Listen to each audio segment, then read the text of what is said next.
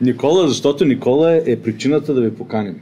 Така ли? Той каза, господине, не може ли да поканите Блъдръж? Жестоко. Ево, Е, това е басиста на нашата група, която се казва Хаштаг. хаштаг. Готино. Модерно. Как решихте да се занимавате с този жанр музика и не ви ли беше страх от а, публиката как ще реагира на него? Ние май никога не сме мислили по този начин за нещата. Не, в смисъл така се случи, че такъв жанр се случи естествено. Аз на къде да гледам? Не, напред. Камера, камера, А, камера. Естествено се случи да, да свирим това, което свирим. И ние реално и групите, които харесваме, правят същото нещо. Те си свирят каквото им се свири. А пък вече публиката как ще реагира, дали ще реагира, това вече не са мисли. Нали? Истината е, че ние, според мен, и до ден днешен не знаем в какъв жанр свирим. И, Да. и не, го, и не се и замисляме много. А, и както каза Марто, всъщност всички групи, на които са кефим, на които вие се кефите, те не мислят за публиката, как ще реагира. Те като пишат музика, не я пишат за хората, те я пишат за себе си и смятам, че ние винаги така сме подхождали. Не защото те така го правят, ами просто защото ние обичаме да пишем каквото ни е на сърце. А, И още повече, че ако, естествено. ако почнеш да пишеш за някой с някаква нагласа, нали сега ще правим песен, която да е конкретно такава, много Ставаш често поп. не става и, и, и реално не, не става. То дори да ставаш поп, то няма лошо да ставаш поп. Въпросът е, че ми- това не е нашата посока. Не е да, да, да правим пари, примерно, или да огаждаме на тая публика. Нашата посока е да си пишем музиката, която ни кефи. И щом има и хора, които ги кефи, още е по-добре. И щом хората се събират и я пеят с нас и танцуват, а дори и да не танцуват, щом някой, един човек да, се, да я харесва и да я слуша и да знае, вече е готино и за нас. Пък дори и да не я слушат, и, ние се я слушаме понякога. Как преодолявате притеснението преди сцена? Някой още притеснява ли се пред Не, не, то минава. Не, смисъл, трябва да има хора, които са по-притеснителни, обаче аз не мисля, че някой от нас е ис- така. Истината е, че ние сме късметли, да, ние сме малко по-нахакани и, Не, то да говори за себе и, си. и не сме много... При... Айде, айде. И не сме, не сме твърде притеснителни. Аз лично, примерно, като свирих на пиано, още от първи клас съм излизал на сцена, сцена пред баба ми и на някой друг баба му. Ма то това е най-важната Обаче, сцена. Но е много важно, да, е изключително важно. Аз, значи, аз съм се излагал много на тия концерти от лошо свирене и ме е било много повече срам в четвърти клас да се изложа пред дядо ми, отколкото да изсвиря една грешна песен на метал пред Защото без това никой нищо не разбира. в клуба. Да. И е а, това? ние нямаме особена сценична треска, най-малкото защото голяма част от публиката ни, особено в България, където ни е основната публика, ние сме си приятели. Ние познаваме 80% от хората, се познаваме с тях, сме излизали по, някога по, поради някаква причина и е малко или много по-интимно, по-задушевно. А, но, например, това лято имахме огромната чест да свирим в а, един фестивал а, в Сочава, в Румъния, на 800 км от тук. И там свирихме пред огромна публика и там смея да твърдя, че и тримата си бяхме леко притеснени в началото. Да. И всъщност не бяхме подготвени, защото добър въпрос питаш как се справяме с сценичната треска, защото ние до сега не сме имали. И а, беше леко шок за нас да свирим пред такава огромна публика, но след първата, втората песен хората всъщност реагираха много добре на нас а, и, и се отпуснахме и, и накрая се стана купон. Има и английска приказка fake it till you make it. Това също така до някъде влиза. Прави се, че един вид прави се, че не се притесняваш, в Преструвай един, момент, в един момент ще стане гладко. Да. А, така че така. А, няма, няма място за твърде много притеснения, защото ние се го правим най-вече за нас. Вие сте с проект акустично. Да. Защо? Вече не- още не сте толкова възрастни, нали? Значи то започна. Истината е, че то се случи първия път с причина. Издадахме албум, Митко замина, свирихме с другия ни басист Мариан и нея година единственият клуб за жива музика в Добрич беше затворен и младежки дом беше в ремонт по Европроект, също беше затворен и нямаше в Добрич къде да се свиря. В Добрич ни бяха, кажи рече, единствените фенове на неговия етап. И нямаше къде да си представим албума и той мина един месец, втори месец, трети месец, стана нова година и ние още не сме свирили никъде. И в крайна сметка си казахме, ами то да не пробваме, така и така скоро време не виждаме къде ще свирим, да направим един акустичен сет, защото много групи го правят, Да. всички са кеф на Pearl Jam, на Nirvana, на това, Открил, Открил. да. И а, има си един пиано бар в Добрич, там знаехме, че може да се случат нещата и просто го решихме. То стана много готино, хората много се изкефиха. Тогава си пуснахме и първите тениски, беше така много култово. И от тогава, от време на време го направихме още няколко пъти. Едно турне си направихме. То не Мини беше турне, турне, беше няколко обика, обиколихме няколко града. И не го бяхме правили от 3 години от тогава. И най-вече реакцията на, на публиката беше интересна, понеже това е любимата концепция на нашите родители. Тъй като идват, те много харесват, защото не им се надуват главите и защото песните така са много по-слушаеми, по-разбираеми, по-простени. Аранжимента им е малко по... Да. Ам, Е, където е по-прост, на, на други места е по-сложно за... Да, но мисълта ми е, че някакси по-лесно се възприема Да, това да, от да, хора. абсолютно. И всъщност причината конкретно сега да го направим е, понеже ние правихме първо месец турне на втория ни албум Quench, сега това ни дава повод да направим още едно турне, но вече да с малко по-различен, малко по-различен материал. Да. Така още един повод да си направим турне. Просто разнообразяваме. Да. Аз имам един малко по-друг въпрос. да. Вие сте били ученици, когато започвате да пишете музика. да. И сте решили да бъде авторска музика. Как пишете песните? Сядате на английски, Текста е последното нещо, което се първо пише. пишете музиката и тогава. За мен двамата лично всичко тръгна от Митко. Митко много държеше да свирим авторска музика. Аз тогава даже не бях пипал електрическа китара. Казах, окей, измисля една песен и ще я свирим. На мен ми беше останал много лош вкус в устата от предишни групи, в които съм свирил, където свирихме едни нескопосани кавари с никаква цел и не получаваш също удоволствие да свириш нечия друга музика, отколкото това, което на теб ти е на сърце. Затова държах да пишем авторска музика и чувствам, че така се развихме много по-добре като музиканти.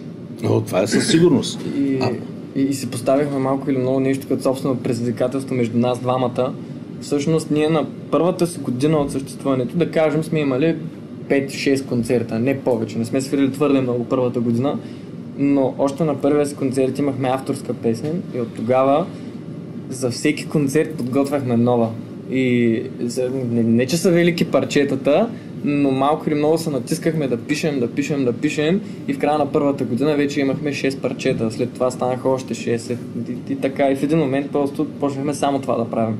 То много бързо спряхме да свирим кавери. След първата година отдавна ги изоставихме. На мен повече въпроса ми, а, творческия а, замисъл, процеса, как, как Ами, между нас двамата се случва най-често. Той е много креативен, има адски много идеи. Аз също имам много идеи. Просто сядаме двамата с две китари, чуй този риф, а ти чуй този, а тия двата ще звучат много яко или заедно, или един сред друг. И малко по малко ги наместваме, аранжираме песен, после се събираме на репетиция, Марто предлага един бит, предлага втори, забравя го на първата репетиция. Казвам, какво не ми харесва, На третата репетиция вече бит е коренно различен и малко по малко сгубяваме песен и аз две години по-късно, като спре да ме мързи, почвам да, да се чудя откъде да се вдъхновя да пиша текст. Митака също има идеи за текстове а кое ме вдъхновява? и така колаборативно всичко. А, друго изкуство, неща от живота. А, не, това е, даже не знам как да го кажа без да звуча твърде банално и, и дълбоко, ама истината е, че наистина всичко може да е. Нали, ние всички четем книги, например. И аз лично много се вдъхновявам като чета книги, защото някакси някои фрази просто ми остават в главата и, и развивам идеи около тях. Филми, сериали и неща, които се случват. Например, имаме една песен Nada Fiction Anymore, на която цялата идея е просто, че всичката технология, която ни заобикаля, в момента се появяват неща, които нали, в научната фантастика от преди 30 години е писана като за след 2000 години, а те вече се случват и те просто е, е така от всякъде идват Волята в Англия. Волята в Англия, шума в ушите, водата в капачките, всичко. Всичко може да ни вдъхнови. Да, не знам тебе какво те вдъхновява. Същите неща, дори понякога, когато свира на китара в различна стая от обикновеното, различните акорди резонират по по-специален начин и се насочвам към определена тоналност. Всичко е много относително. Да, и конкретно за музиката дори не бих го нарекал с цяло вдъхновение за инструменталите, защото ние с него и двамата имаме един общ стереотип на свирене, когато спряхме да свирим кавери. нали, Аз лично тотално спрях да уча всякакви песни и почнах сам да си, не, дори да не да си измислям стил, аз се дрънках, ама малко по малко почнах да се уча пишейки. Малко или много.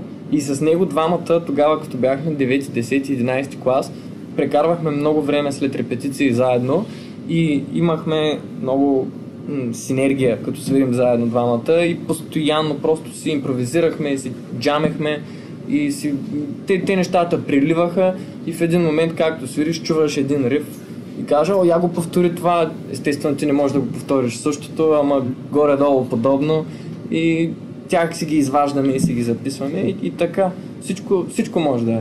И от импровизация през целенасочено писане, което е все по-рядко всъщност, до, до нещо, което си видял или чул.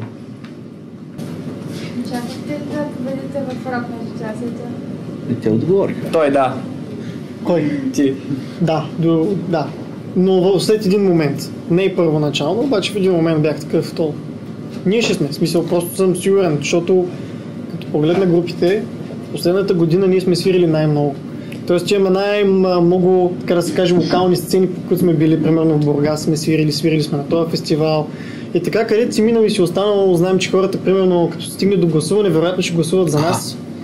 И мога да си направя сметката спрямо другите групи, какъв, какъв тип локално, локална подкрепа мога да очакваме. Така че аз до някъде го очаквам. Има и друг момент, че според мен ние направихме впечатление на журито като, просто като най-свиреща група, като чисто количество концерти, които правим. Анекдот също свириха адски много, но ние бяхме, например, единствената група, която по време на конкурса имаше концерти в София. На нас не се е налагало да един ден, цял ден да записваме в БНТ и вечерта имаме концерт, свирим с концерта в който и да е клуб и се връщаме обратно на, в БНТ на снимки. И на тях това със сигурност им правеше впечатление. Отделно си говорихме с тях много свободно, много на един така по-общ език, вече не на толкова детски език, да го наречем. И просто, може би, наистина... А имаше ли силна конкуренция? Е, имаше си, в крайна Не го гледахме малко. Те, да, но, най-малкото ние, ние бяхме е, сега приятели. конкуренция, нали? Ние- Да, Кавички, да, да. естествено, с, че... с група Access, група The Lefties, бяхме много големи приятели, още от много от преди на, изобщо да стане въпрос за конкурси и какво не. Ние сме свирили на, на концерти заедно още от първата си година. А, а, с анекдот сме се засичали много по конкурси и фестивали и какво ли не. И всъщност с групите финалисти ние се познавахме и нямаше, нямаше напрежение, поне за нас, Нямаше никакво напрежение. Ние просто бяхме там за кефа. А иначе конкуренцията беше от лефти реално. Да, Така, ако да. мога да го кажем, идваше с, с тях най-голяма конкуренция. А, и с а, сексапилният Дани, който сега също е в Лондон. който е в Лондон и той. Даже днес има а, Open Mic Jam Session, който е в Лондон да отиде да го гледа. в момента. В момента е, да.